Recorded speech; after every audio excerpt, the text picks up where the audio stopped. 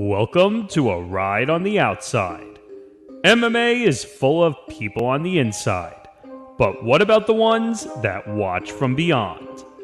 Welcome to the MMA Outsiders with Tom Albano and Zain Bando on the Empty the Bench Podcast Network.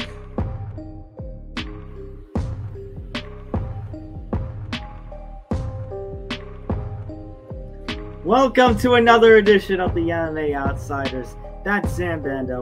I'm Tom Albano. We are here for episode number 15. Zain, we are in the middle of a couple big fight weeks here. This is the big transition week. We go from one big card at Madison Square Garden. We go from my hometown to your hometown. Big Bellator card this weekend, Bellator 288. Uh, now, Zain, I'm going to be very nice to you because you are going to be getting a lot of content there, and I'm very excited for you. And I can't wait. MMA Outsiders is going to be at Bellator 288 live. This is going to be phenomenal. However, I must uh, ask you, Zain. So you think I'm insane? You said it was I was absolutely out of my mind for even thinking Alex Pereira had a shot at capturing the middleweight title. and well, sometimes these things happen in MMA. Yeah, um, I gotta take this one in the chin. I gotta say that I was wrong, but I gotta say going going into the fifth round, I was feeling pretty good that I would sweep the main card on predictions, and then all of a sudden, whatever Alex Pereira's corner told him apparently worked. It worked really well, and uh, in the most emphatic fashion that anyone's ever seen, at least in my recent memory. Um, the, the, the, the finish of, of finishes did occur. But before we get deeper into um, UFC 281 and what was, be sure to like and subscribe. Be sure to follow us all across social media at MMA Outsiders ETB. All of that stuff is going to scroll across the screen here for a little bit. And then, of course, be sure to uh, subscribe and ring the notification bell. That way you don't is anything related to Empty the Bench or Empty the Bench's content as well. Of course, you can follow me at ZainBando99. You can follow Tom at Thomas J. Albano. But yeah, um, I get it. I get it. And I did take this one on the chin. And of course, if you like, if you like reading more about chins as well, you can read. You can read Tom's work at Fansided MMA. You can read all of my work, work at bjpenn.com, where I'll be pumping out as much Bellator content as possible this week. So very excited to get deeper into the show. And yeah, I'll be the first to admit to you that yeah, I, I was entirely wrong on this one. Although for like 20 minutes of that fight, I was I was looking like an expert, eh, and apparently the outcome shows that I'm simply not an MMA expert just yet. And honestly, I don't really think any of us are because the, the, that's the that's the sport. Something the sport doesn't make any sense, Dan. The sport doesn't make any sense. But you know what? No, that just proves something. It just proves something. We're not insiders, but we are outsiders. That's that's very that's very true. We are we we are we are outsiders, but we do not we do not claim we do not claim to be insiders with inside information, quote, quote unquote. Um, but yeah, that that knockout was absolutely insane. And I mean, you have to give all the credit in the world to Pereira for you know believing in his corner and not giving up and anything like that. Also, you got to kind of fault Izzy a little bit. If you noticed, like near the fourth round and at the beginning of the fifth, he was kind of stagnant, kind of sitting back and waiting a little bit. He may have gotten a little bit too overconfident. He got caught and you know, sometimes those things happen. But I have to ask you this question going into the fifth round. Um, did you have it uh, scored three to one for Adesanya? Because that's yes, how I, I had it. Yes, I did. I gave I gave Pereira the second round just because he seemed to, you know, he controlled Izzy throughout that second round. But the first round I had for Izzy, especially after the late combination that stunned Pereira, and I have to give Pereira credit for coming back in that second round and fighting very skillfully. Um, but then you just saw Izzy just throughout the first 20 something minutes, Izzy was just very patient with his shots. He was, I have to give you credit, very tactical with what he was doing. That he wasn't, you know, I thought for a mistake, maybe it was a mistake to stand and trade, but he wasn't trading. What he was doing was he was picking his shots and then just finding a way to get around uh, Pereira's, getting around Pereira's well muscles, getting around Pereira basically his attack. Kind of reminded me, Zain. I'd say I, I think this might be a little stretch of a comparison, but maybe appropriate considering he has a big fight coming up in a month, uh, less than a month. Reminded me of the point fighting style of Stephen Wonderboy Thompson, in which he would get in there, get his shots, and then get around, trying to avoid Pereira. Basic, basically trying to get Pereira to come to him, but being, you know, being elusive enough to avoid all of Pereira's power.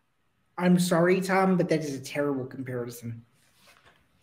And I'll and I'll explain because Stephen Wonderboy Thompson, it would be it would be different to say this if Stephen Wonderboy Thompson actually won any of his welterweight title fights. He did he didn't. I would say it was more so of the the the style that you're describing reminded me more so of um, a la Shogun versus Machida 2 or Machida versus Evans, something where you know you have to wait for one guy to come to the other. And if you recall those fights, um, as well as I'm remembering them, that's exactly what happened.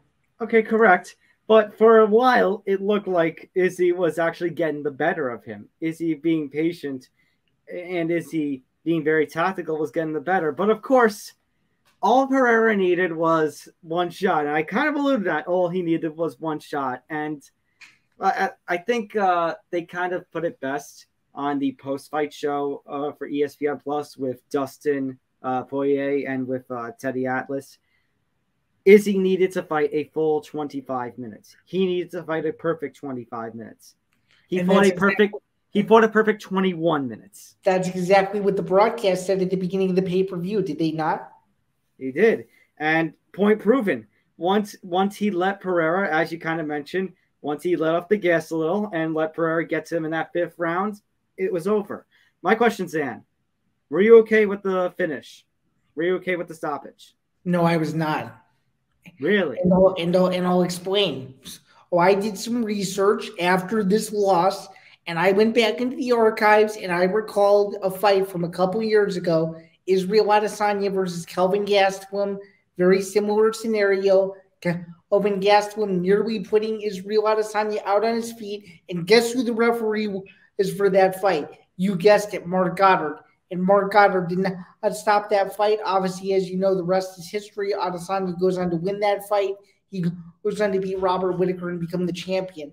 To not give, in my opinion, this is on the fault of Goddard. To not give the champion – the respect that he deserves to go out on his shield like that, in in my opinion, was was was criminal. And I do and I do think that that stoppage was way too early. I don't know if I would say way too early. I think we've seen much worse stoppages in MMA, and I think as of late, we've had maybe an issue or two as of late in which a fight gets stopped, you know, too late. But so I want to give credit yeah. to where God. I want to give credit to you know, I was I shouldn't say credit, but I didn't have as bad of a problem with the stoppage in the moment. In the moment, I didn't think there was an issue. Afterwards, where I was seeing Izzy, you know, it, it landing on his a couple of shots landing on Izzy's arms, like the last three or so, maybe four landed on Izzy's mm-hmm. arms. I can understand, but I also think Zain, I don't think Izzy did a good enough job of responding well either. No, he was not throwing as many counter shots as as you would have hoped. Um, I'll give you I'll give you that, but I do think you know to give him the respect to like let him let him go down. In my opinion, to show like yeah, you fully you fully knocked him out. I think would have been a little bit more of a would have been a little bit more of a fight sensical, if you will, a more of a fight sense. And you do I just I just think to give the champion a chance to to say that I'm out um, would have I think been the right thing to do, just considering you know his run to this point and everything. Um, but I have to ask, with how stunning of a comeback it was when Pereira actually won, and as you were as you were watching it unfold, uh, what was your what was your first reaction when he actually won? So I thought, you know, I thought for like a few seconds before Izzy got officially stopped, I thought Goddard was going to step in.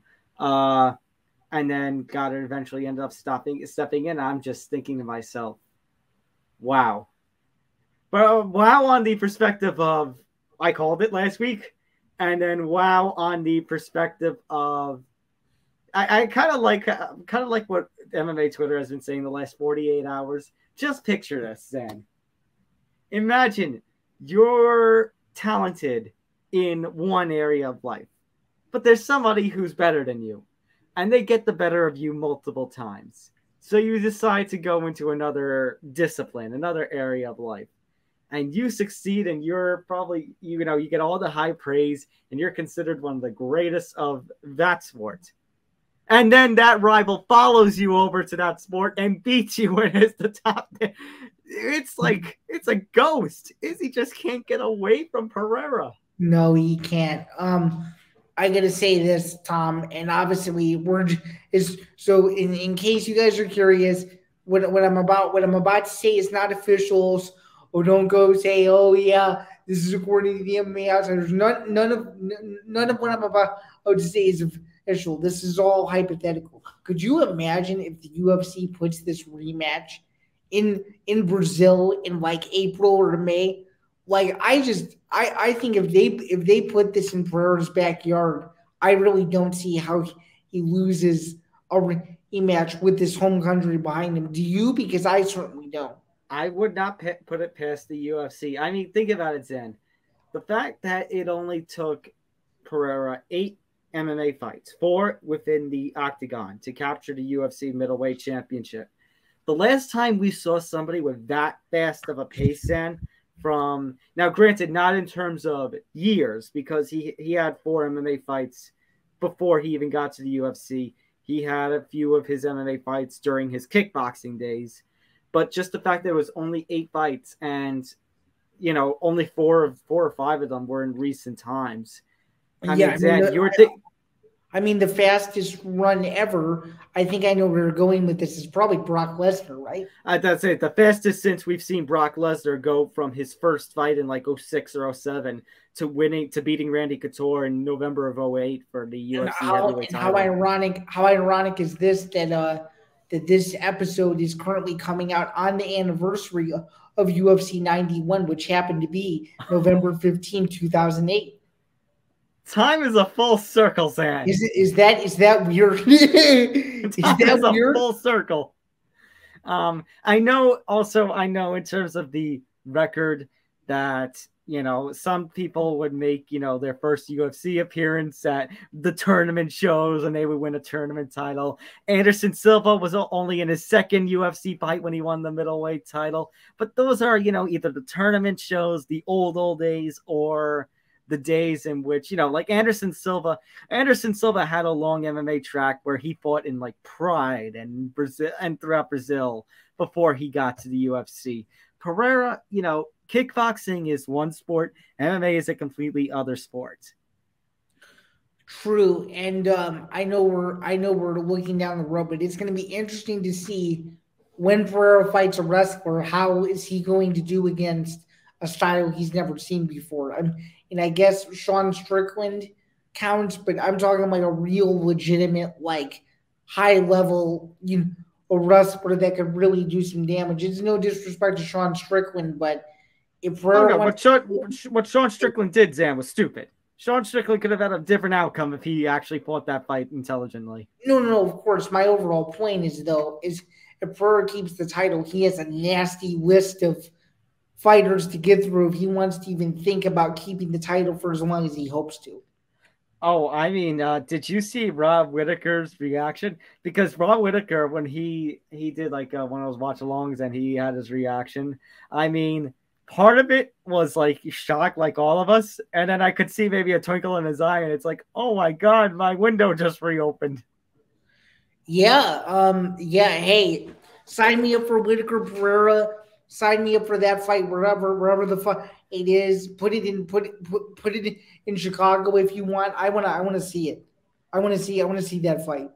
but as far as what you said before about Pereira going into Pereira's backyard in April or May, maybe even June, and taking on Izzy in a rematch there, I would not put it past the UFC. They seem to you we kind of hinted at it last week. They seem to be all aboard this Pereira hype train, and I think they would they would run this back just to just to torture Izzy some more and make Pereira four and oh zero against him in competitions. Oh, I mean, this literally feels to me like it's their new love affair with Conor McGregor, who's not Conor McGregor. That's how it. That's how it feels to me. Like it's slowly going towards that. Like like they love him so much that they'll basically do whatever whatever they whatever they please with them. I mean, that's what it that's what it seems like to me. I mean, we'll talk about uh, fellow Irish fighters in uh, in Molly McCann and the devastating loss that she suffered in just a little bit. Um, but yeah, I mean, shock. And Zain, think about it.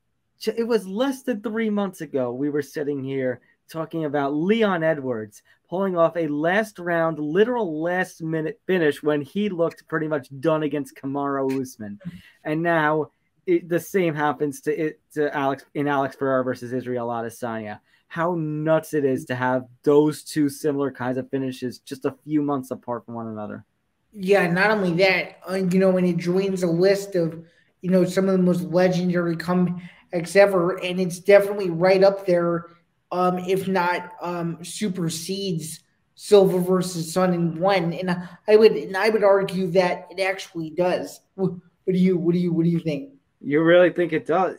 Because I could have sworn you said that it didn't supersede that Edwards versus Usman didn't supersede Silva. Yeah, this one this one feels way different though. In, in my, in my opinion, is because um if you watch both fights, although Silva did get taken down in the fifth round, you could just tell the whole round he was trying to go for the finish, trying to set something up, and I feel like Pereira did the exact same thing in the fifth round. So I think in their own unique ways both fights, although 12 years apart, are very similar.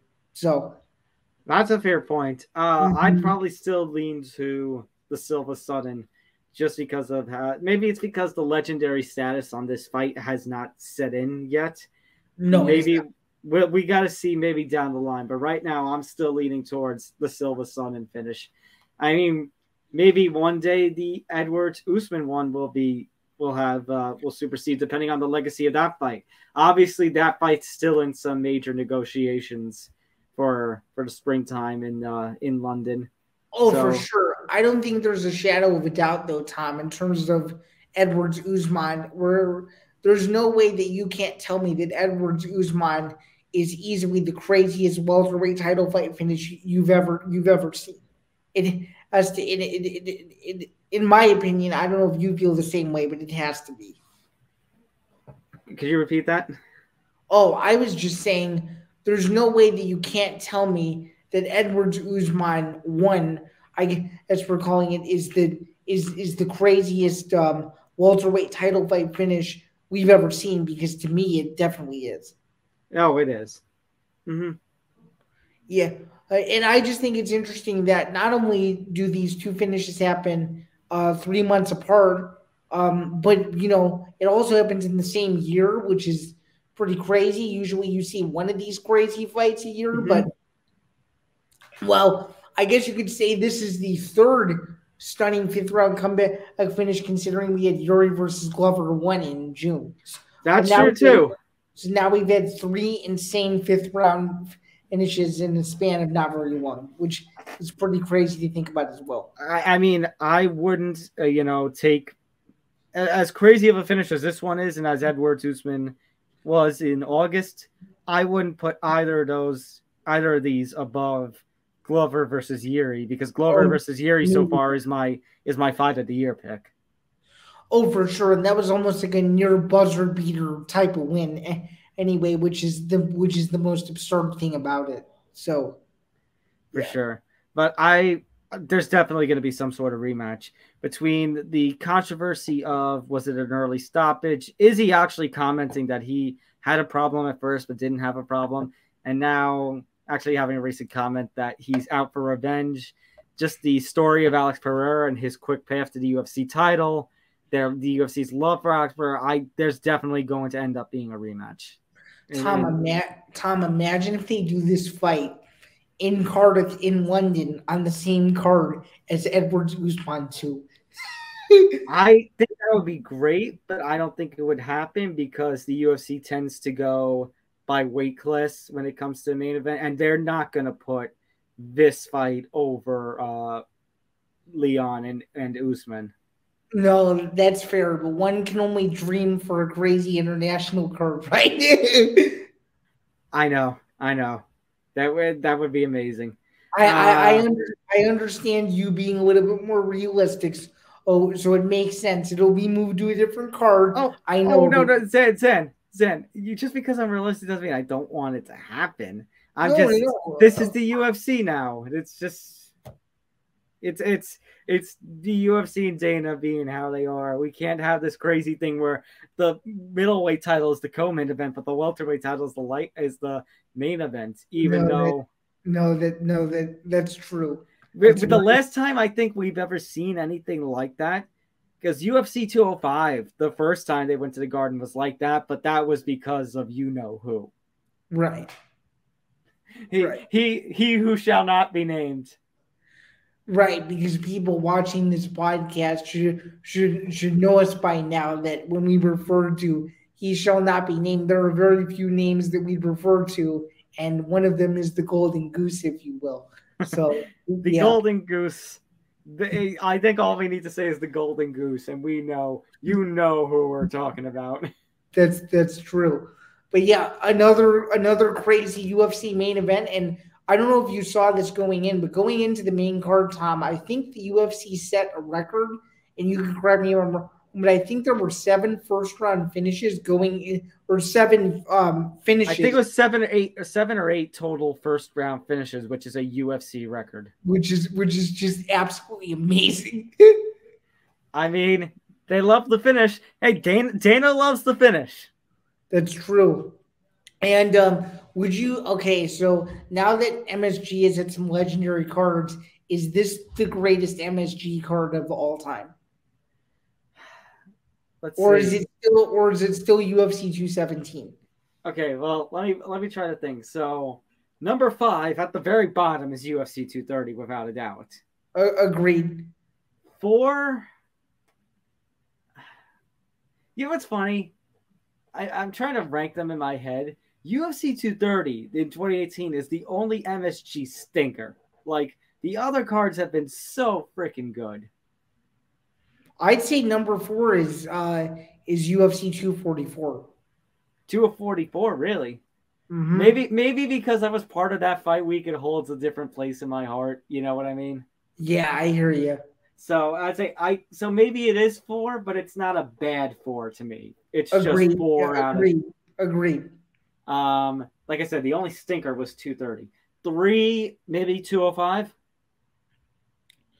Yeah, and then I'd say number two is this one, and number one is 217. Yeah, I, I think this one topped 205. This one definitely topped 205. I think 205 is always going to be somewhere in there, at least as of now, because there's only been five MSG cards.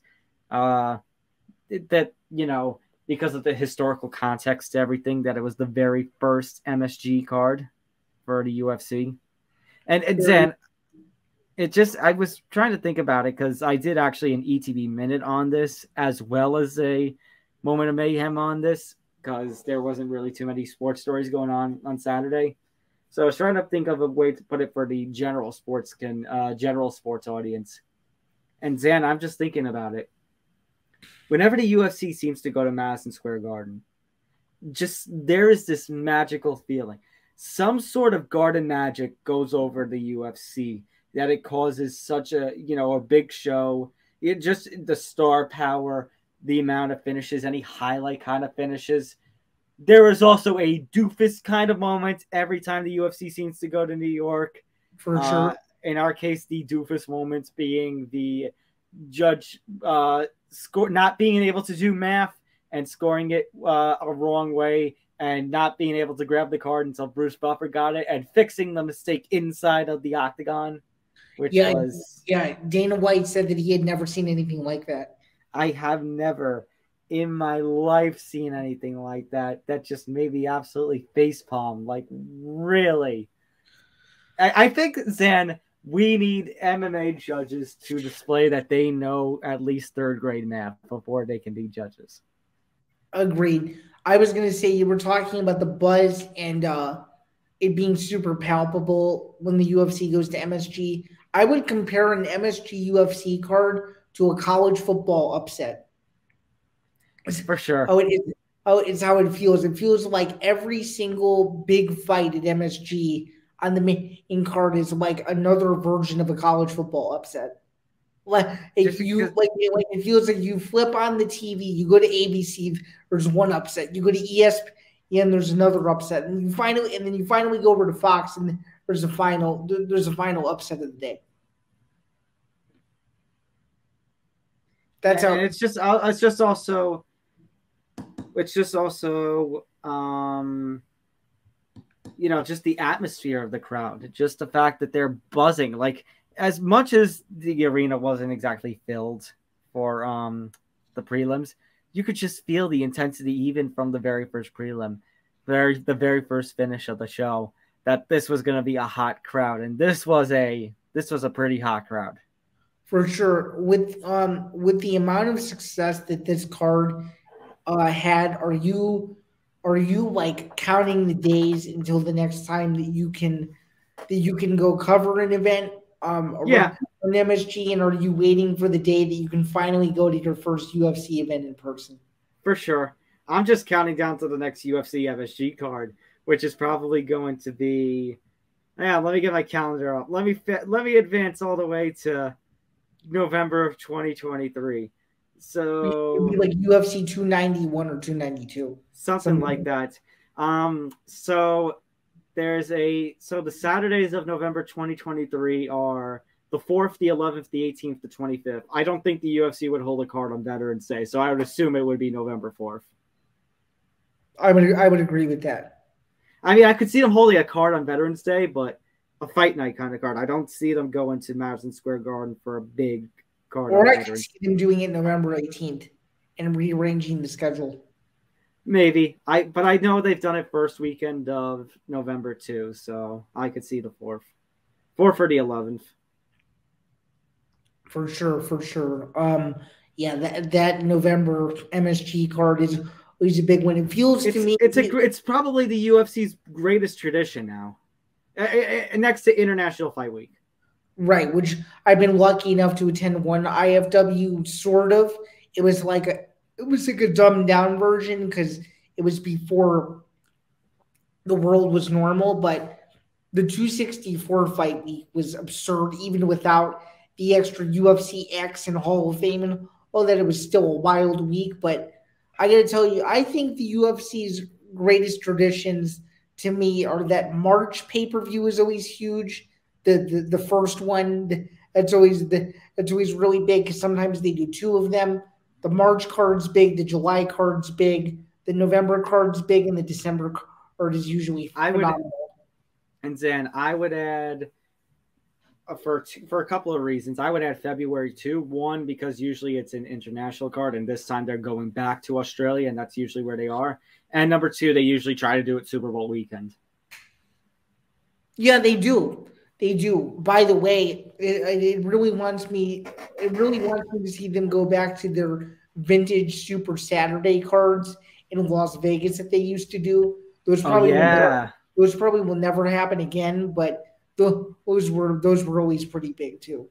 But only one only one can dream, right? Mm-hmm. So, yeah, for sure. Oh, and then I guess you could see the January card is usually pretty big because they usually try to do uh, Anaheim or Vegas or or one of those. This year it's obviously Rio, but yeah, January they usually try to stack it at the end of the month. So as the first well, pay per view out the gate. Well, also thankfully Dana mentioned at a, recent media appearance that the desire after after this year calendar year comes to an end, once 2023 hits, they're going to look to do more fight nights and such outside the outside the apex and go fully back to touring schedule which is a positive, but also kind of sad because it would be an RIP to the UFC fight night Apex era, which did deliver some pretty insane moments. I think Uh, they'll still go to the Apex every now and again. Yeah, it just won't be as consistent. It feels like the Apex has become the new Palms or Hard Rock Hotel and Casino for them. It's, it seems it seems like so. True. I don't know. It's nice to see the UFC is looking more towards a normal schedule, which may mean that uh, you know, who knows? They might hit all fifty states in the future. You never, you never know. But it's going to be an interesting year. That if they do what they say they're going to do, um, especially with that new Power Slap fight week coming, it's going, be, it's going to be a wild year for the company. It's going to be, it's going, to, it's going to be ridiculous. Because think about it, you're going to have the Ultimate Fighter, you're going to have Dana White Contender Series, you're going to have eight to ten episodes of Power Slap, and you're going to have pay per views and fight night cards. It's going to be, it's going to be absurd. There's going to literally be some sort of fight content every three days for the entire year. How much are you going to be watching that Power Slap League? I'll probably watch every episode. To be honest with you, I, I'm kind of, I, I have this morbid curiosity because I like roll my eyes, but I'm like, I, I could see I could see myself tuning in just because I want to see just the sheer ridiculousness of it. Yeah, I want to see fighting. the, I want to see the ridiculousness ridiculousness of it. I want to see Dana's reactions to it, and I want to get to see some of the characters too. I, I want to see full blown WWE style entrances for this.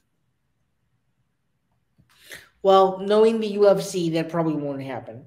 Probably not. It's probably going to be a dumbed down version of the Ultimate Fighter minus the cage. That's Probably. That, that that's that's what I'm getting at. But uh, apparently, there's going to be a Power Slap Championship fight on pay per view, which I don't know how that's going to exactly work. But yeah, Maybe to make it part of a UFC card as an extra. I don't know if I'm gonna pay Zain. I don't know if I'm gonna pay sixty nine ninety nine to watch slapping.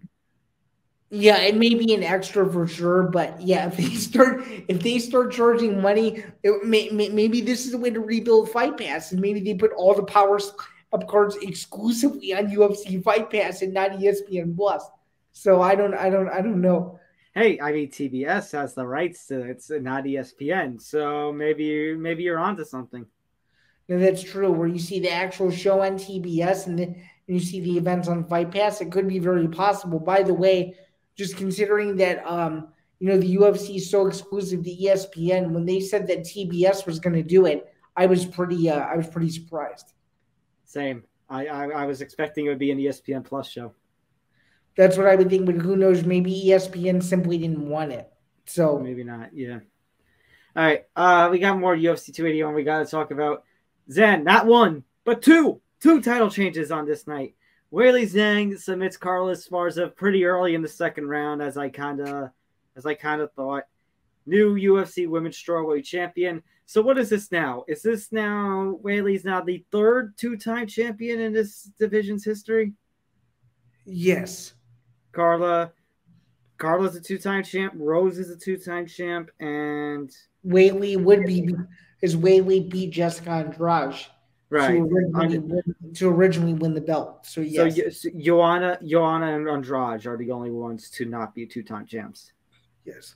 and and, and that's because Joanna also held the belt forever. What felt like forever, but this, Right. that was only nearly three years. Uh, my point, though, uh, I mean, Zain, I don't want to take any, I don't want to give any offense to Carla Esparza, but combine the boring way in which and uneventful way in which she won the championship, plus the fact that Weili Zhang still looks strong. Controversial fight last year at MSG against Rose, where she could have had her hand raised, and then sending Joanna into retirement with the knockout. This one seemed pretty elementary to me that Weili was going to get the belt back here.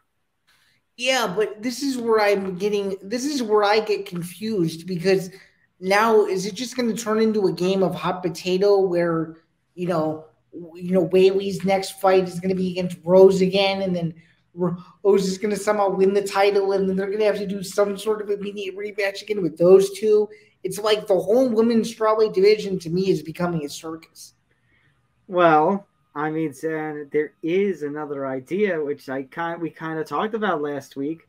There is somebody who just got a major win last week, an upset in the women's strawweight division. Talking about Amanda Lemos.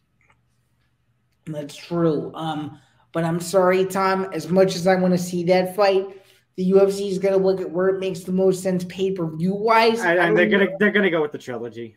They're gonna go with the Rose uh, Weili trilogy. Of course.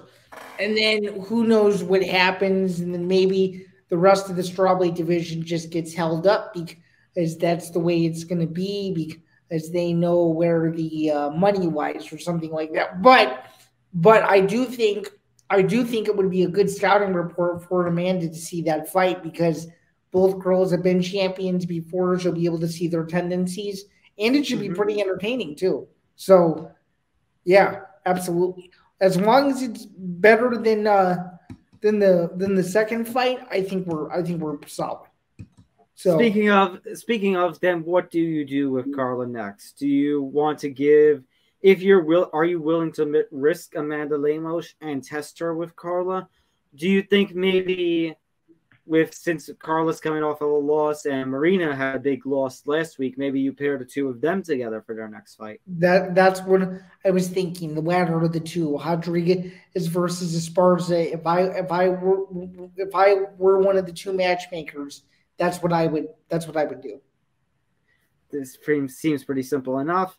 The only thing about Rose, I mean, yes, she technically is still the number one contender, but you know, she there was a while in which she hadn't fought, and it feels like she's fought nothing in but title fights. And I don't know, are we really, you know, like obviously it's probably going to be Weili Rose three, considering the trilogy, considering Weili's champ, considering Rose beat Weili twice on the record.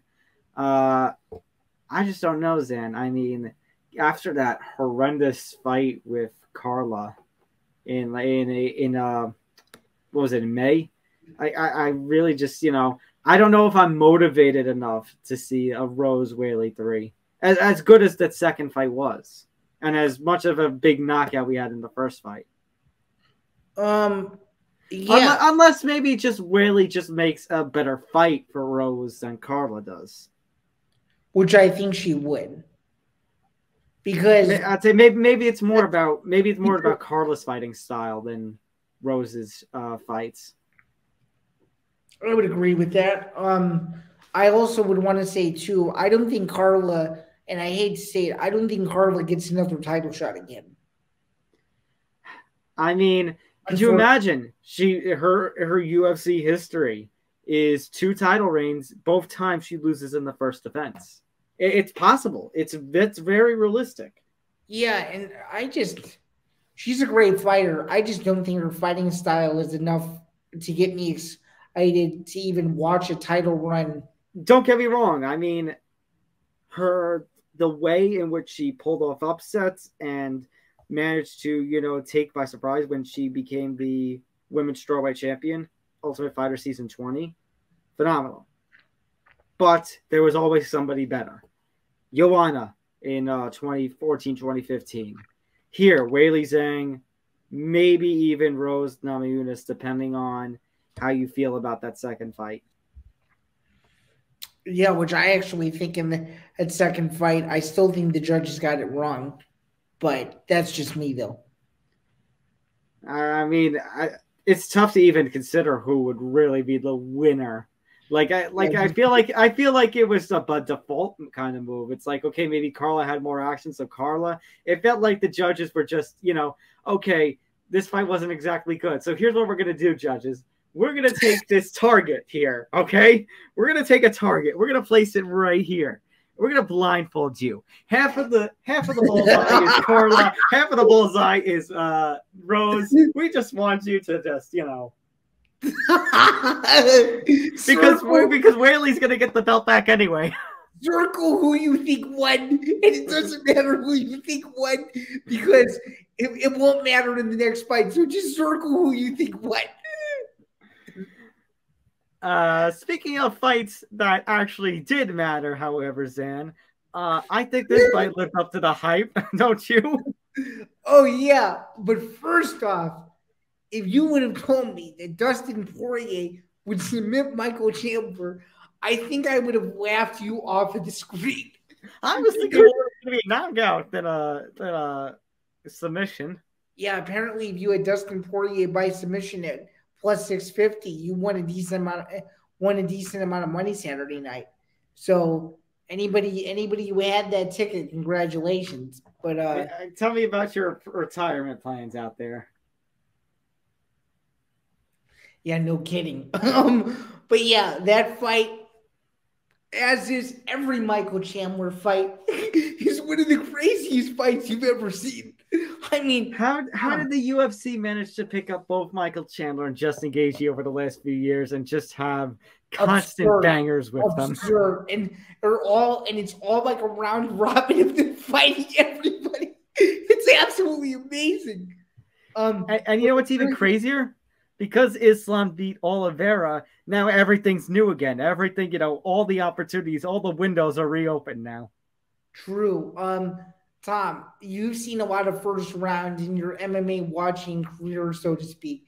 Is that one of the craziest first rounds you've ever seen? definitely one of the definitely one of the craziest where you know it seemed like to be this constant back and forth battle with but then you know like Chandler rocks him early, Poirier rocks him before you know before the horn.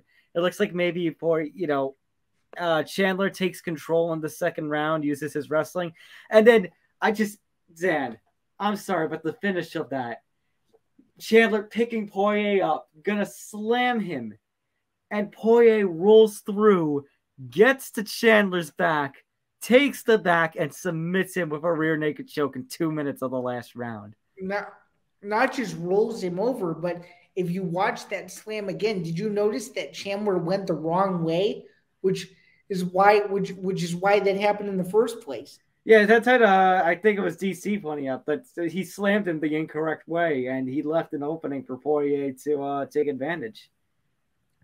Yeah, not not similar, but similar, but not similar. Very, very uh, reminiscent of Hughes versus Trigg uh, two. I, as you could say, because Frank Trigg nearly submitted Matt Hughes, and and Matt Hughes picked him up, and him across the cage, slammed him, and rear naked choked him on the other side.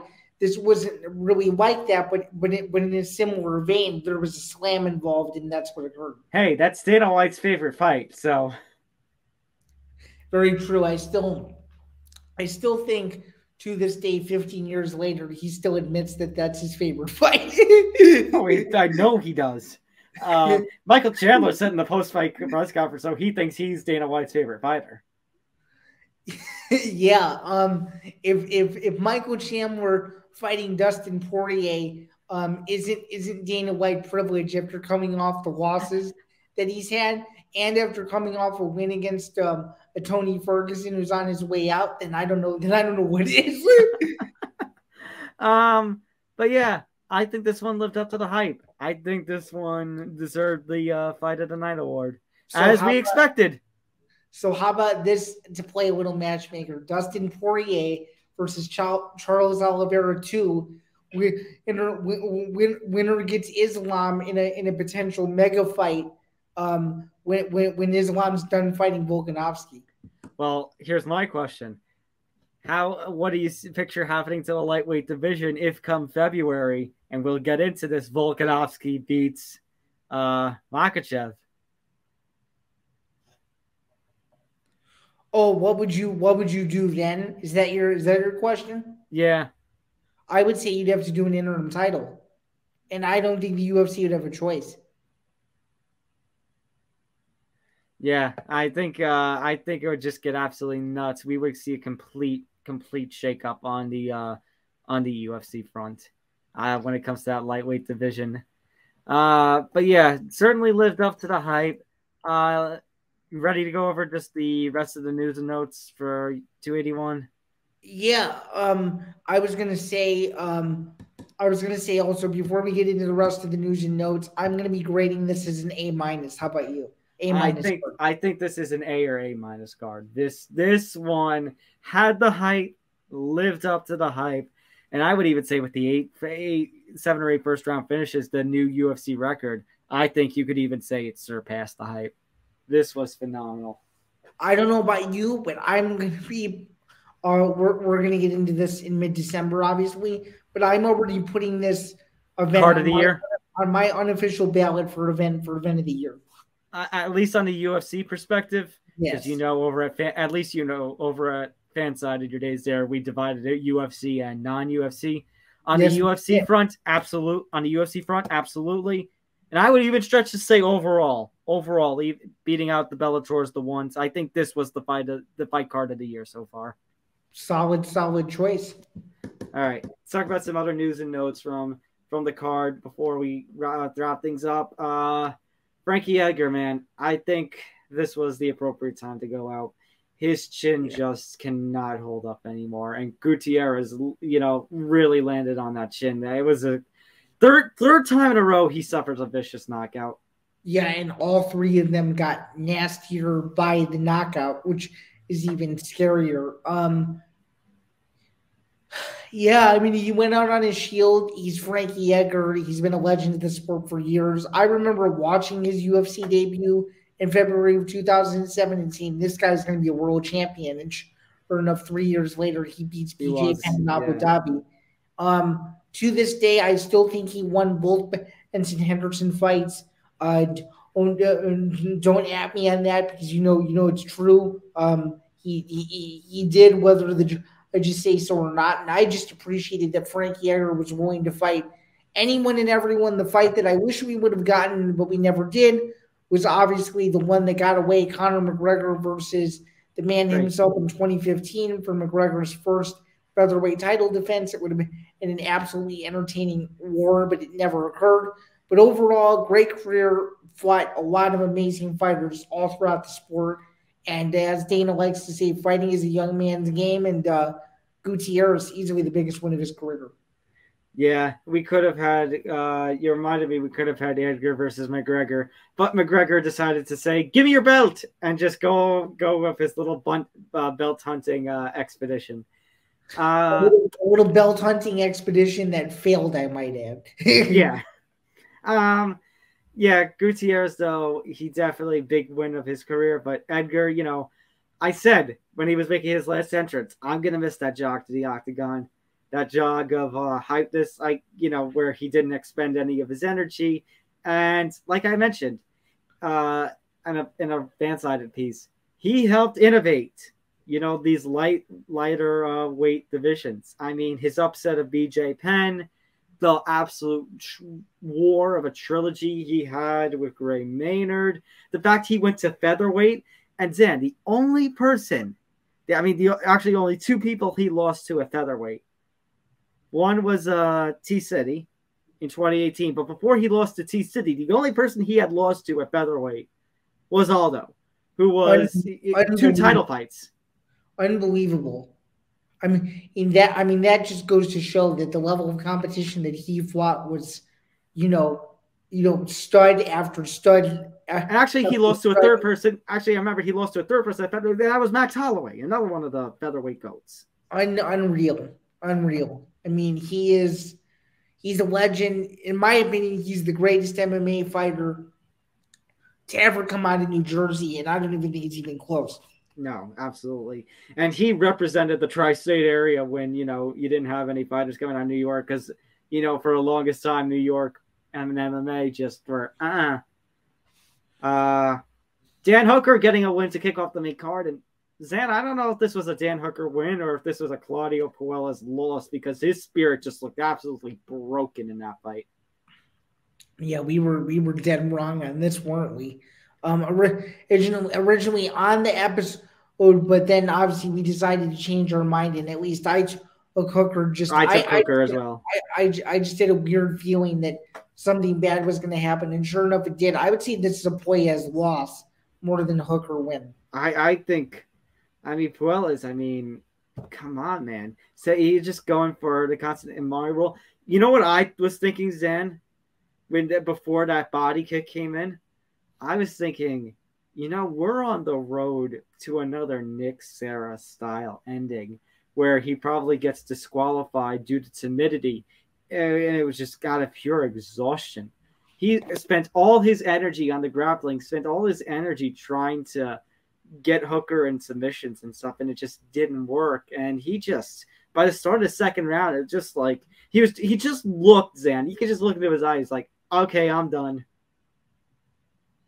Agreed.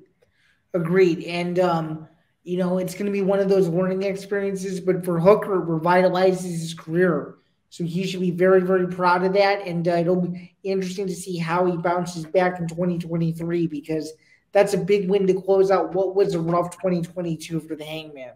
So.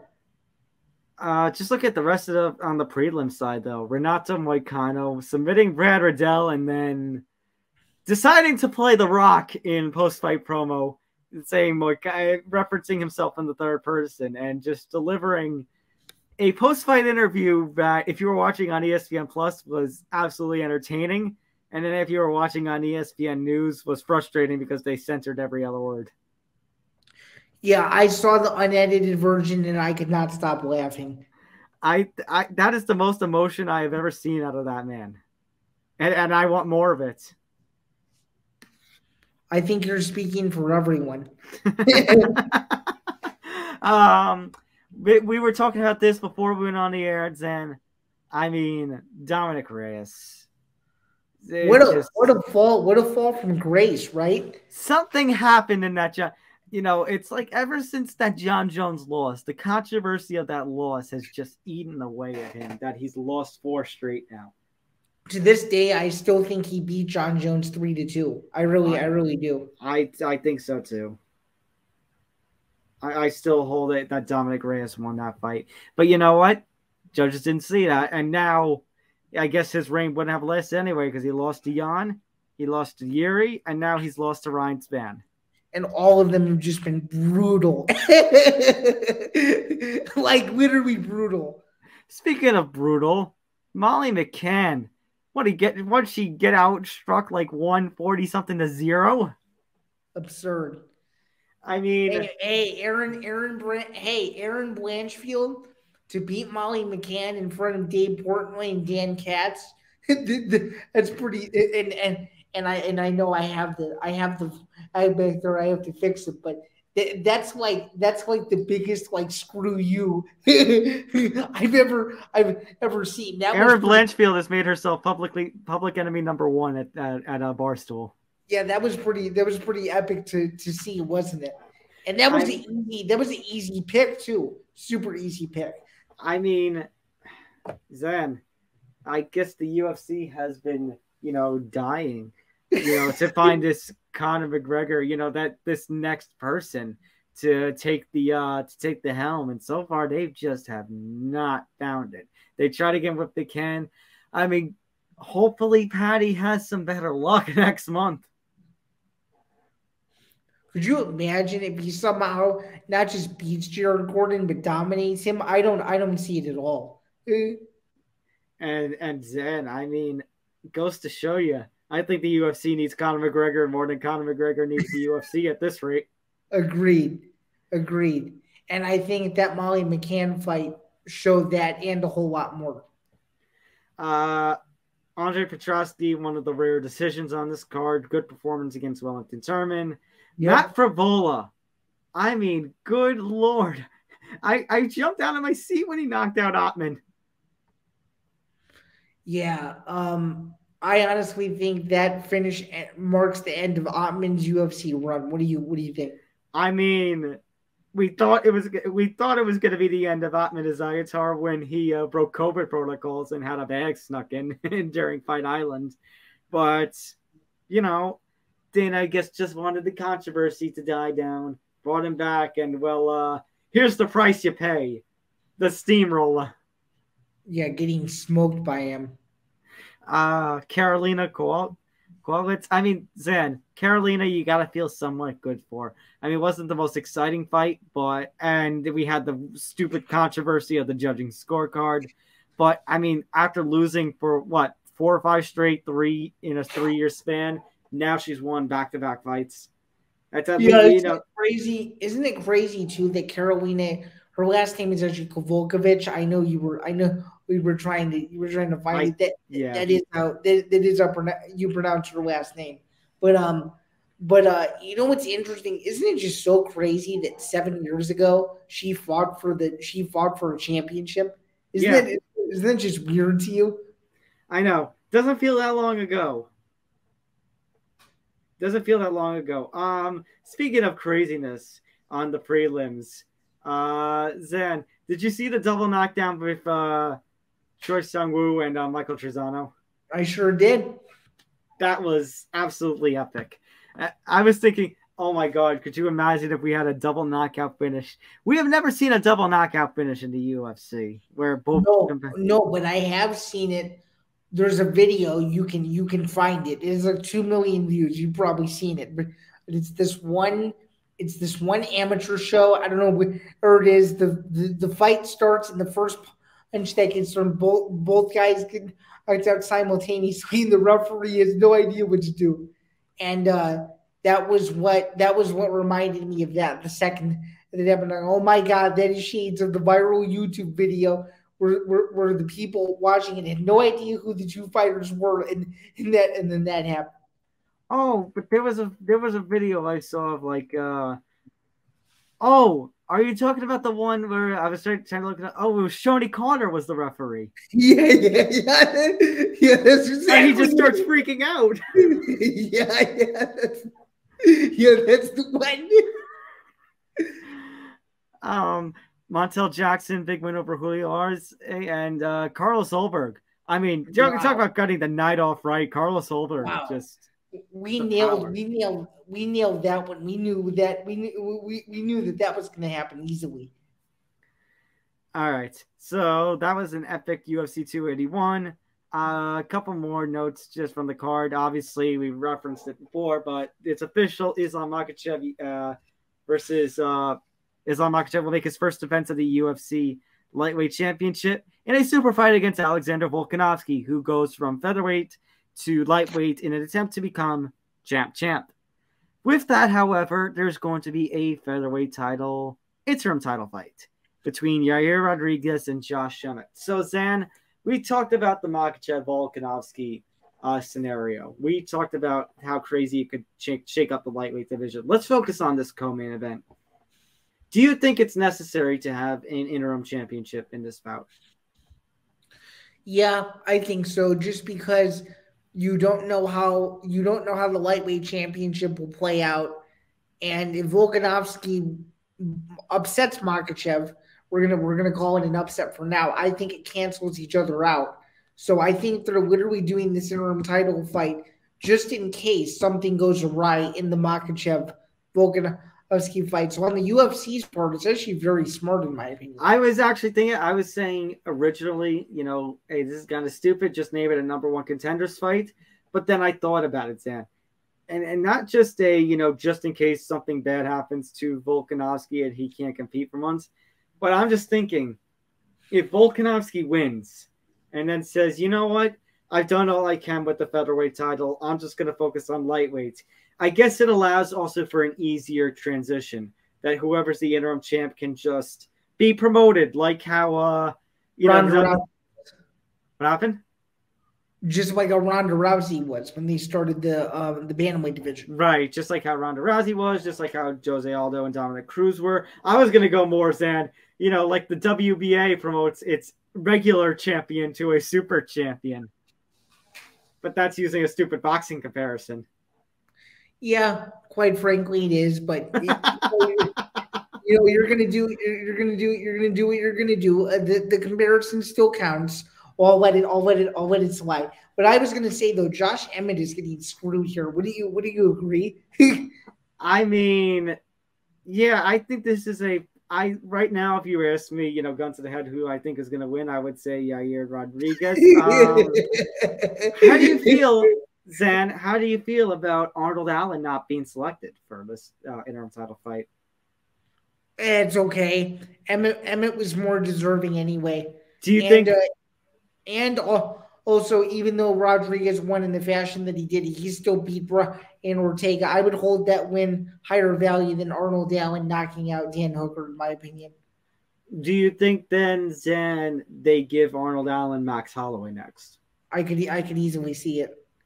I, I think that might be the fight to make to probably make next if you're going to go in this direction. Just because we haven't seen Holloway versus Allen, and really, those are the only two guys you have left at this point. Because And then I guess you could call Holloway versus Allen the unofficial interim, interim, interim Right. championship fight. right, unless unless I don't know, unless you're giving you know Holloway the the Korean Zombies retirement fight. No, absolutely no. They would never. No, they would never do that. They don't. Want, I- they don't want. They don't want to see the Korean zombie get mauled on the feet. Uh, that's true. Uh, but I'm saying that it's either that or just you know, because like you mentioned, Ortega's out with injury because of how he finished against uh, Rodriguez. Calvin Kattar's out with injury. Giga Chikadze's at number, I think it's number eight. Yeah, number eight. Bryce Mitchell at number nine. Bryce Mitchell has a fight coming up. And Giga Chikadze, I think, still has a few ways to go before we talk about title picture with him. So it seems like they've set in stone these two matchups, and then at some point you got to work in Holloway versus Allen. For sure. I I could see Holloway versus Allen headlining a fight night card. Yeah, definitely it will. It definitely will. Uh Zain, before we get into anything else, there was also this BS that happened. So Nate Diaz got into MSG with a ti- without a ticket, and Zain, what do we say? When the Diaz brothers get involved, you know some shit's gonna go down. And well, it went down. And who did it go down with? Dillon Danis. Zain, do you care at all about Dillon Danis? No. Be honest with me. No, I mean, Tom, you you may or you may not. I won't judge if you do, but if you follow Dillon Danis on Instagram, every single post is is this guy's a coward. I'll be back. And then literally, and then literally three days later, it's the same thing. And every and every single comment is, "You're irrelevant. When's the last time you fought?" Zain, I'm glad you mentioned that because I actually now have to look up when the last time Dillon Danis has he fought since that Bellator card in 2019? no, he hasn't. no, he hasn't fought in three years. He hasn't fought since that Bellator MSG card in 2019. He hasn't in three years. Three, we're going to three and a half years. He's pulling the GSP route.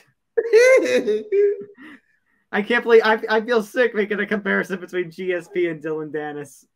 it's absurd. Absolutely absurd. But Uh, hey, it's Dillon Danis' only way to stay relevant, is it not? It's pathetic. I'll call It's it that. pathetic. I mean, He should just start. He should just start doing Instagram sponsored posts at this point because this, is, this is getting this is getting ridiculous. he's an in- oh Dillon Danis is an influencer, all right, but not Oh, the kind sure. of influencer you think he is.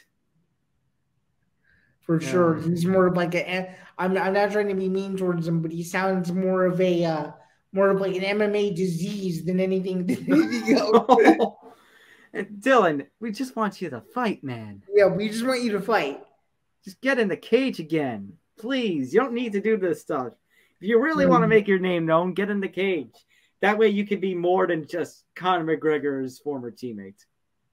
Get in the cage and then proceed to get knocked out by a 72 24 year old. Which is probably what would end up happening. Oh my god. No, no, no. No one knowing what could happen. You know, maybe maybe Bellator will go the Michael Venom Page route where they get a guy who also shadows as a uh, Uber driver. oh, it would be it would be the most Bellator thing of all time. But anyway, though, yeah, I, I really don't care about this news at all. It's just it's just another day in the life of the Diaz brothers, I guess. You know what else I don't care about, Zain? I don't have a graphic for it, but I don't care about Floyd Mayweather versus Deji being an absolute disgrace to boxing.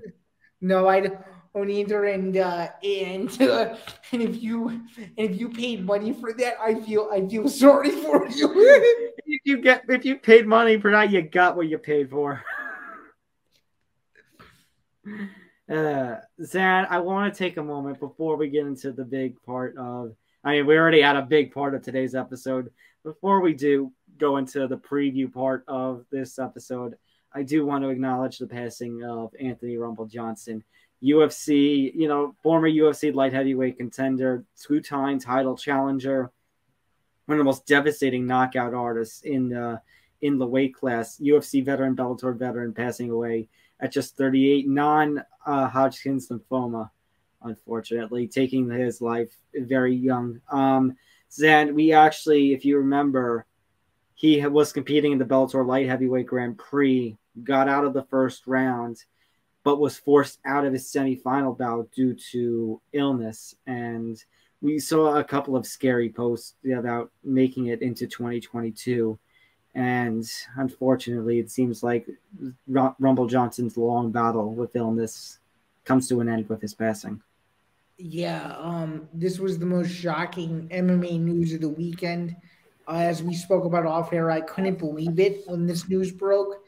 Um, I mean, I've been watching Anthony Rumble Johnson since 2008, and um, you know, just his career was just so unique in so many ways. He had just this thunderous power, and he was between like three different weight divisions, and you know, he had all the weight issues at 185 and all that, and then he had a career resurgence at light heavyweight, and we never got to see, you know, what would have been one of the most stylistically intriguing matchups of all time, in my opinion, in 2015 when he was set to fight Jon Jones. And it's just really unfortunate that we never got a chance to see, like, you know, Rumble at his full potential, fighting one of the best in the world. But, you know, you just always knew when Anthony Johnson was going to fight, you just knew that it was going to be all action packed and he was going to go in there and give it everything he had. And, you know, he was just one of those guys where,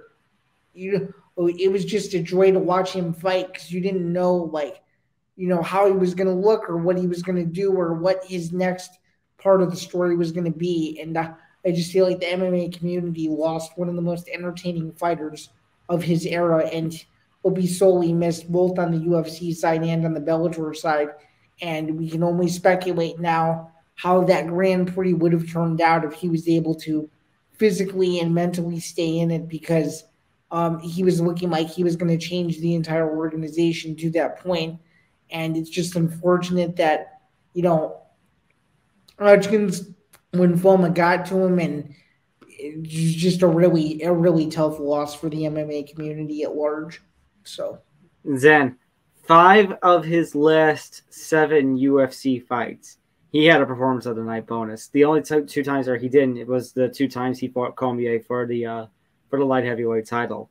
But I mean, you just think about his sub minute knockout of uh, Rogerio Nogueira, his first round knockout of Alexander Gustafsson, his first, his second round knockout of Jimmy Manuwa. I think those Zain, the highlight will always be to me that first round 13 second knockout of Glover Teixeira in the co-main event of UFC 202. Yeah, and two knockouts you didn't mention uh, his fight with Tommy Speer and his fight with um, um, um and his fight with um, Yoshiki Yoshida UFC 104, where he knocked him out very, very quickly. Uh, yeah, and just absolutely unbelievable that you know this guy went from welterweight to middleweight, and then having fights at light heavyweight and heavyweight. Obviously, he had the weight issues early. He ends up go. He had he had the weight issues when it came to light uh, to welterweight got moved up to the middleweight division, missed weight for that fight, and then got easily, I think, subbed by Vitor Belfort, led to him getting released. That he had to rebound his career with uh, organizations like Titan and the World Series of Fighting, the you know current day Professional Fighters League. Um, but he rebounded pretty well, and he just he was a j- powerful jack dude. It's amazing how you know quickly he went uh, you know, from being a welterweight fighter, being pretty good there, pretty decent there, to being unbelievable as a fighter at light heavyweight. You mentioned the fight with Jon Jones, and that's definitely one of those fights that got away. Although we will always have that press conference moment in which he and Jones pretended to brawl with one another and panic Dana White, and then just they completely, you know, shook hands and hugged just just to mess with Dana a little bit not just to panic Dana, but nearly scare the shit out of him and give him a heart attack.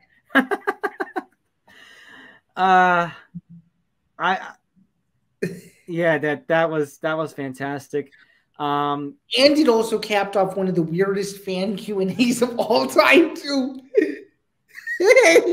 and now they don't. The end of Jon Jones's first run as light heavyweight champion is just a a whole, like a you whole said, saga, an entire saga.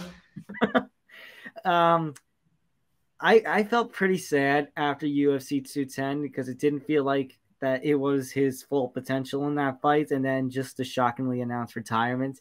I was glad we were able to see him now, you know, especially now knowing of his passing, that we were able to see him at least one more time when he fought uh, Jose Azevedo in the Bellator Grand Prix and scoring, you know, a classic Rumble Johnson knockout. Not just a classic Rumble Johnson knockout, but a classic Rumble Johnson comeback, I might add. It's a crazy fight. yeah. Uh, I'm gonna miss that man. Absolutely. You know, guy, hell of a competitor in the cage. Absolutely. All right. All right, Zain. Let's talk about the big news. For the first time, ladies and gentlemen, the MMA Outsiders will be on site. We will be on site for what? Well, for Bellator 288, because it happens to take place in Chicago, and one of us two are is actually from Chicago. Yeah, so thankfully I've been um, afforded the opportunity to go cover my first MMA event as a member of the media, and it happens to be one of the biggest Bellator cards in UFC has, or excuse me, one of the biggest Bellator cards in recent memory. I'm, I'm You're one of the best Bellator cards in UFC history. I mean, to be fair, Dana has been more introducing Bellator into their lore when they when they reference Michael Chandler. That is that is true. Oh, I, I apologize for the near blooper, but we have a we have a solid lineup of fights. We're gonna finally have some closure with the Vadim Nemkov Corey Anderson saga. We think we we think we think we think well. Thankfully, the good news for Corey Anderson is he has Chicago roots. The the fight is in his hometown. There's going to be a lot of Corey Anderson supporters there. Uh, don't be surprised if Corey Anderson uh, gets this fight done or and wins and wins the fight in front of his home crowd.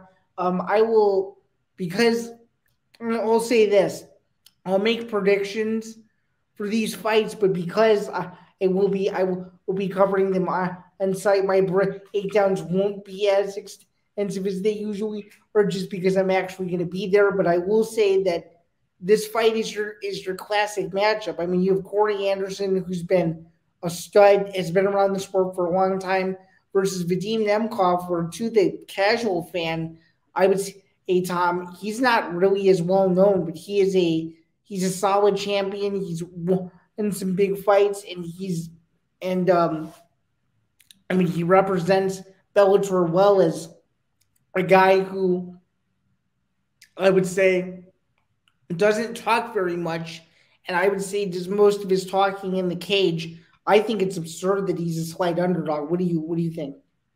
I think the reason the odds have him as a slight underdog is because of how that first fight played out. Because then, if Corey Anderson doesn't open his mouth and say anything to the ref about the headbutt, Corey Anderson's walking out of there a million dollar champion. And I think, you know, I it's kind of that fear, you know, did Corey Anderson talk himself talk himself out of a championship and million dollars? You know, honesty is the best policy, but in this case, honesty may have just cost him a million dollars in the title if he can't replicate that same performance this weekend. And Vadim Nemkov, I mean, excellent fighter, great power, great wrestling, trained Zain. They always make mention of this with Bellator when Vadim Nemkov fights. Trained by who? The one and only Fedor Emelianenko. Very true. And Fedor Emelianenko has been a uh, has been a legend of the sport for for years and has been one of the Bellator staples um, of late. And um, yeah, I mean it's gonna be it's gonna be interesting to see uh, to see how this fight plays out. I gotta say that if Vadim Nemkov fights the way he did, Felipe wins. It might be a short night uh, for Corey Anderson, although Corey Anderson did shock the world when he knocked out Ryan Bader. So I really do feel like someone is getting viciously finished in this fight. Someone's going to get viciously finished.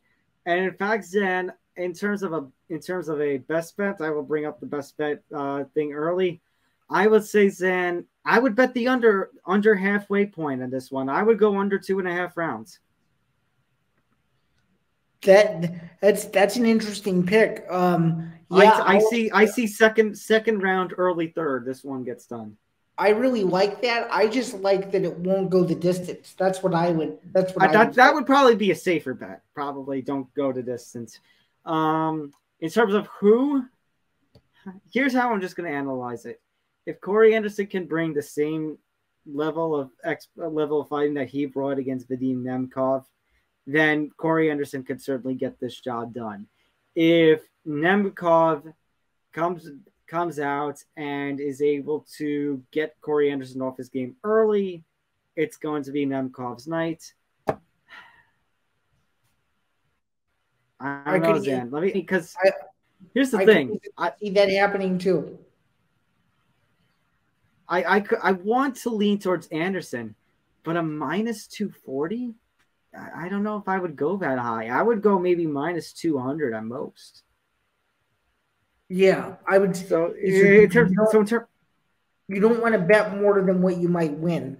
So right. So in, in terms of in terms of laying down money, it's strange. In terms of laying down money, I would want to lay my money more down on Nemkov, although even though I think Anderson might get the win here. I think Nemkov has value. If you if you get what I say. That's fair. I just don't think Corey Anderson loses in front of um, a lot of his home fans. He's from Rockton, Illinois, which is not Chicago, but you know, it's he's still from the state. I I think a lot of supporters are going to be backing him, and I think he's going to have the crowd on his side.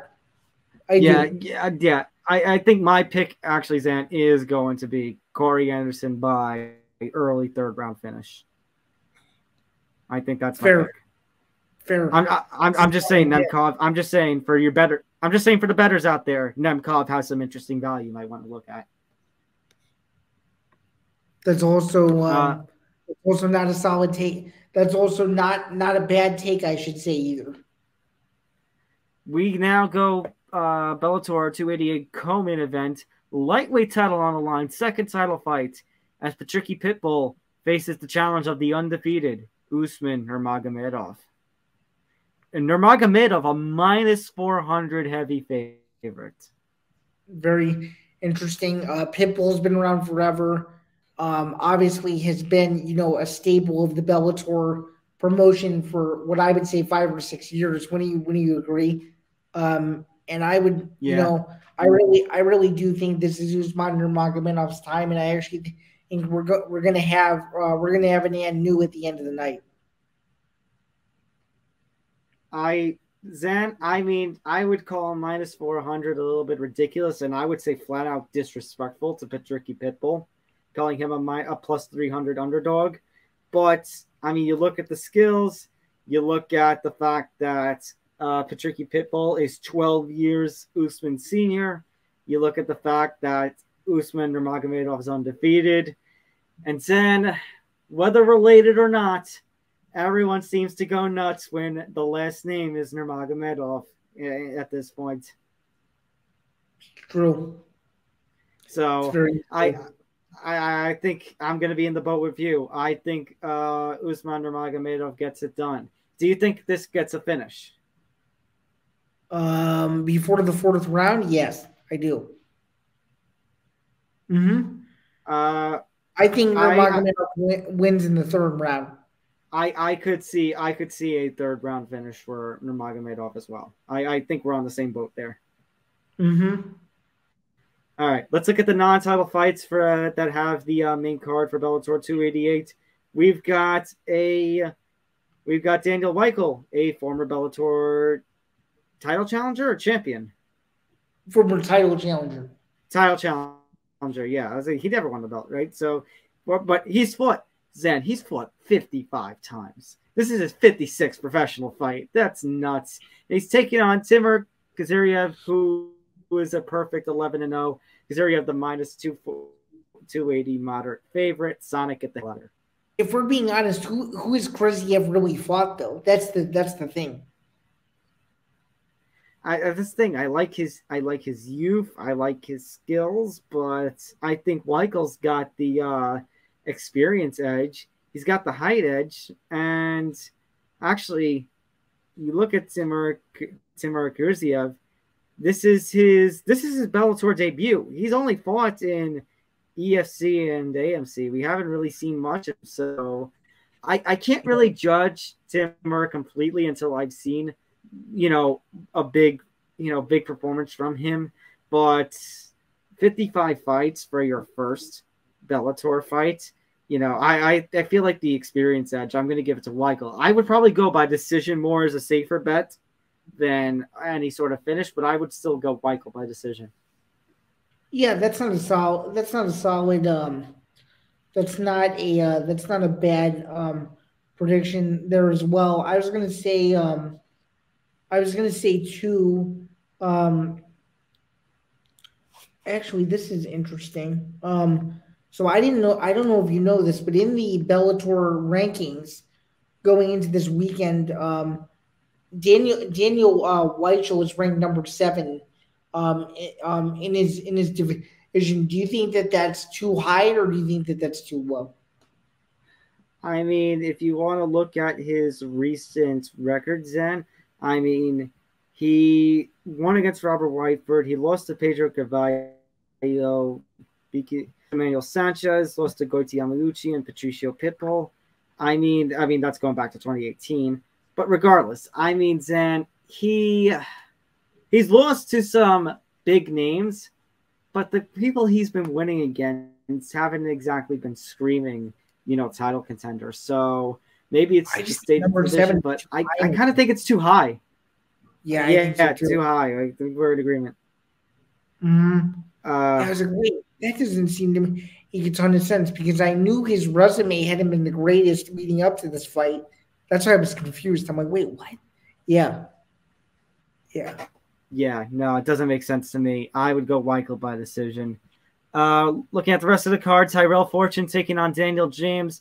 Uh, Zain, I actually got the opportunity to speak to Tyrell Fortune, and you can check that out on Fansided MMA's page. My little interview with Tyrell Fortune. Uh, let's see if maybe maybe I can make a card on here to link you guys, link you viewers over to that. Um, Tyrell Fortune and I talked. Tyrell Fortune, I think, is ranked number five right now at heavyweight for a Bellator, and he was talking sure about yep. Zain how, yep. and he was talking about how Zain um he just seems to not be able to get a fight with one of those top fighters. Obviously, he's not going to get a fight with uh with uh, I think he lost to Moldavsky. No, it was Linton Vassell he fought. He oh Tim Johnson was in 2020. So Tim Johnson, Linton Vassell. So he's going to get immediate rematches with either of those guys. But Moldavsky we talked about, and we talked about Cheick Kongo. And Zain, the point that Tyrell Fortune was making in that interview was that none of the top five seem to want to fight him. None of the top five seem to want to fight him and risk, you know, their ranking. But here's Tyrell Fortune, you know, Cheick Kongo could be available for a fight, and or he hasn't accepted any Fortune's challenges. So, I mean, if you're Bellator, and if Tyrell Fortune has a big performance against Daniel James, and Daniel James is uh, older, let's see, he's a plus 240 underdog. He's eight years the elder of uh, Tyrell Fortune. Has fought, he fought one time in Bellator way back in the day, in like 2014. He might have the four inch height advantage and five inch reach edge, but I would still go with Fortune by first round or early second round finish. And say how much longer, you know, I mean, if what Fortune is saying is true, it's more on the guys ahead of him how much longer can he be denied though? Like, why is he? Why is the number five heavyweight fighting a guy like Daniel James who hasn't fought in Bellator in eight years? Yeah, I mean, I think that I'll be honest. I really do think the only reason is so Bellator could say, "Oh, we have a couple Chicago guys on the card." That that's literally that's literally the only reason. Oh, it's that. That reminds me. That reminds me he had a phenomenal response. I said, you know, Daniel James is competing in Chicago. You know, he's from Chicago. Are you gonna have fun with the crowd and get booed? And Tyrell Fortune was just like, man, it's Chicago. I'm not gonna play with the crowd. I'm just gonna, you know, do my thing. You know, I don't care. And he basically said, I'm not gonna go get hurt. I'm not gonna, you know, mock the crowd and get hurt afterward. Interesting.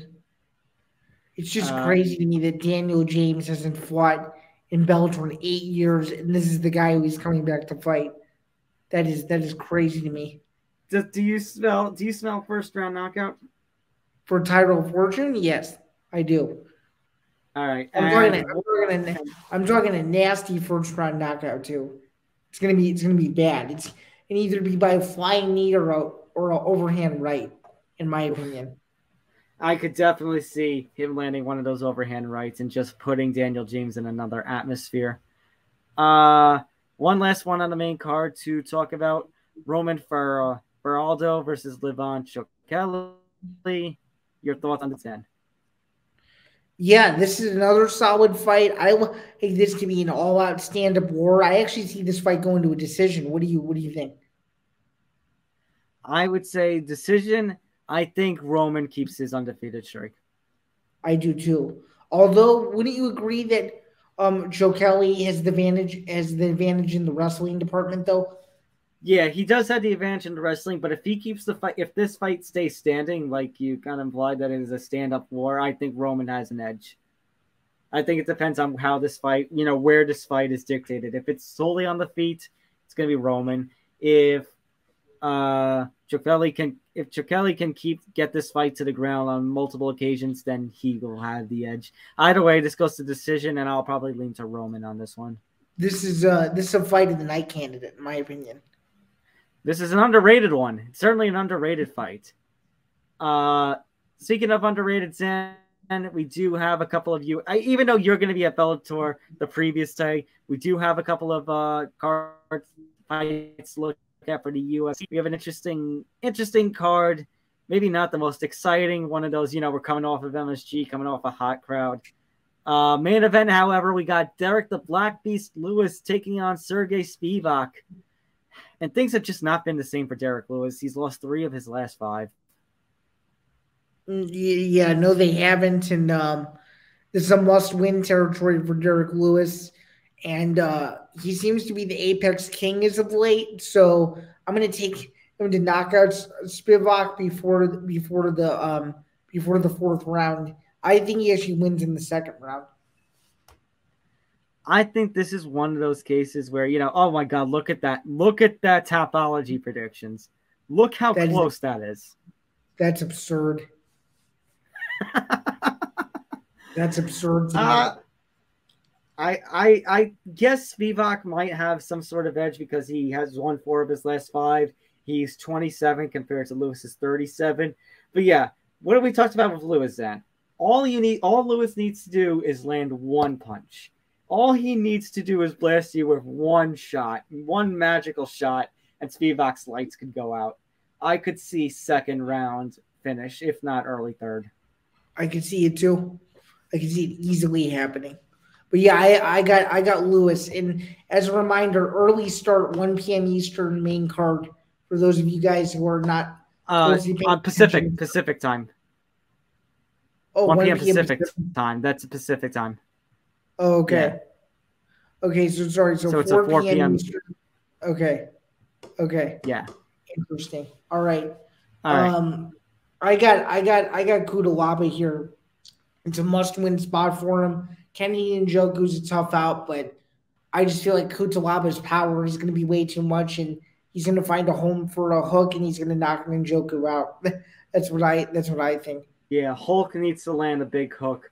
I know Kennedy. I know is you know somebody to. I know Kennedy has been in some, you know, an infamous fight or two with the UFC already, but Cutelaba has got the experience. Cutelaba has that Hulk style power. I can't go against Cutelaba on this one. I say Cutelaba first or second round finish. Solid prediction. All right. Solid. So I think, yeah, I think it is. Uh, I can already tell the lag is getting. So let's end things here. Uh, I'm gonna say thank you to everybody for tuning in to episode number 15 of the MMA Outsiders. As we said at the start of the show, make sure to hit that like button, make sure to subscribe, and hit the notification bell so you get everything for the MMA Outsiders Empty the Bench, Beyond the Bench, Game On, Fruity Cereal, uh, Five More Minutes Mom, the newest show to the network, so much more. Make sure to follow us across social media at, at MMA Outsiders ETB, especially this weekend when Zain, you are there on Friday night for Bellator 288. Of course, Yes, make sure please- to Please do, especially especially this weekend. Very very well said. Mhm. Make sure to follow the network at ETB Network. Make sure to follow Zain himself at ZainBando99, myself at Thomas J. Albano, and Tom Talk Sports 9. You can find more of Zain's work over at bjpenn.com, and he will have some of his work there as well this weekend. Find my stuff at Fansided MMA. I'll probably be doing a couple of recaps for the big Bellator card this weekend, as well as the UFC, probably the main event or, or co-main event. And yeah, we got a lot of exciting stuff. So stay tuned later this week for some exclusive content. As a first here for the MMA Outsiders with Bellator 288. And Zan, any last thoughts you want to say before uh, before this big weekend? Oh yeah, um, I'm very much looking forward to this. For those of you guys who have followed me for a while, me going to one MMA event a year is nothing new. However, this time I'm taking my fan hat off and I'm putting on my media hat, so it'll be definitely it'll definitely be interesting watching everything with a bit of an impartial view. Even though there is one fight where like to side towards one one fighter over another, I'm not going to reveal um, who that is or what that is until closer to the fight itself. But I'm very much looking forward to the event. Uh, Wintrust is going to be rocking, and um, you know this is good for Bellator. They're closing out the year with a bang, and this is you know another card before the end of the year that they've been trying to build up for a while. Actually, Patricky Pitbull made an appearance at the Bears game yesterday, so I think there's more, or uh, or, or Sunday rather, and I think there's uh, more palpable buzz. Um, than than than what than what the or has been. So Bellator has been trying to push it. I've seen a lot more radio and TV um, advertisements to get people to buy tickets. So Bellator is taking this very seriously. And uh, when when when when fights come back to Chicago, people are interested. People are into it, and uh, I think it's going to deliver Friday night. And I can hardly wait to be there. I'm already counting down the days. The first the first prelim is super early. It's at 5 p.m and I can I can hardly wait. So 5 p.m. Central, right? correct. Okay. 5 p.m. Central, 6 p.m. Eastern. It'll be on Pluto, Bellator's YouTube channel, and Showtime Sports' YouTube channel, and then you can jump over to literal Showtime on television. That is at 9 p.m. Eastern, 6 p.m. Pacific for the main card. So I can't wait. Zain, I hope you have a good time. Hopefully, we're pumping out some good content later this week. And yeah, thank you all for tuning in. And this has been episode 15 of the MMA Outsiders. And always remember, whether it's Bellator, whether it's whether it's UFC, whether we're live and there in person, or whether we're just you know chilling at home, always, always be Joe Piper. be Joe Piper. Thank you again for listening, everyone. We'll see you next week, everybody. Well, later this week too, but we'll see you for a new episode next week. True.